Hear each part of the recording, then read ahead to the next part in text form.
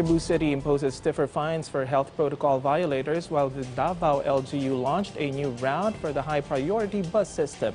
All these stories and more in our provincial roundup by Regine Lanuza.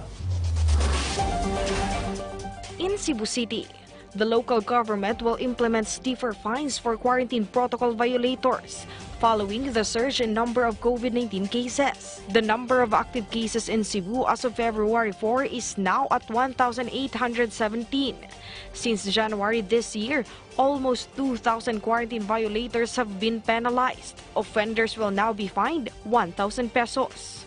We keep reminding people to strictly observe, strictly observe the minimum health standards.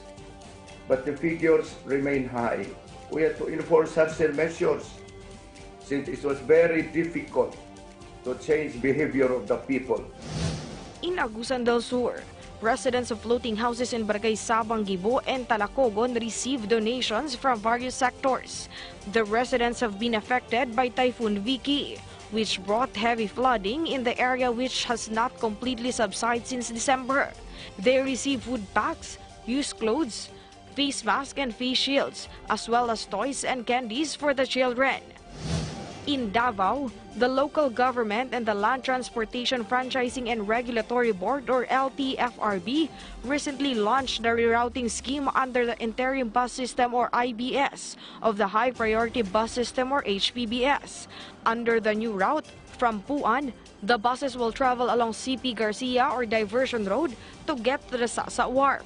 This is just one of the three new routes that will be implemented under the HPBS. ah, countries, lugar, cities, and makita nimo ang ilahang transport system, wala kay makita nga jeepneys.